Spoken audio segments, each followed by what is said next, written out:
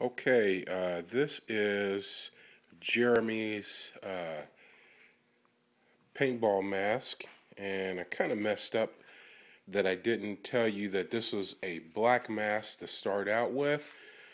Uh, but you know, you most people know JT masks, so you know this is this is what we got going on. This would be more like a Desert Storm type look, you know, that you could stop here and be pretty much way cool, you know, looking. Um, I guess I could do a little bit more with the doing a little bit of uh, Desert Storm look. Let me see if I can get a better lighting.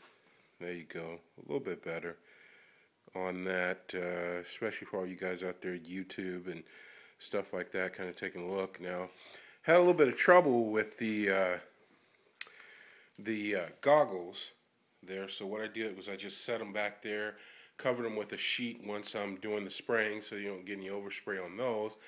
Uh, you'll come back, the last color will be black on this.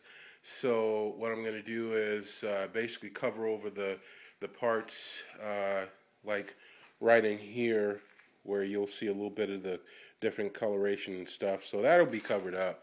But for the most part, I think this thing is looking badass sweetness.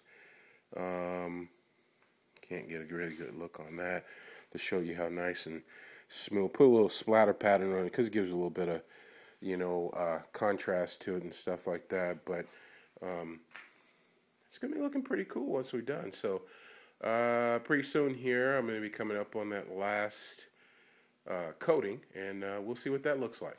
All right.